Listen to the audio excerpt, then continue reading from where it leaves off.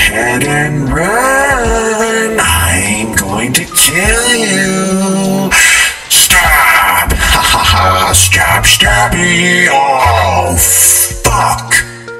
My fucking chainsaw? Oh, and then you fucking stab me! Oh my fuck! Do you know how fucking embarrassing it is already to have my chainsaw just premature right in front of you kids? No, no, I can't have you running off and telling all of your friends about my premature ejaculation. I mean, premature chainsaw issues, can I? No, you have to die! yeah, you can't run around telling my secrets, bitch.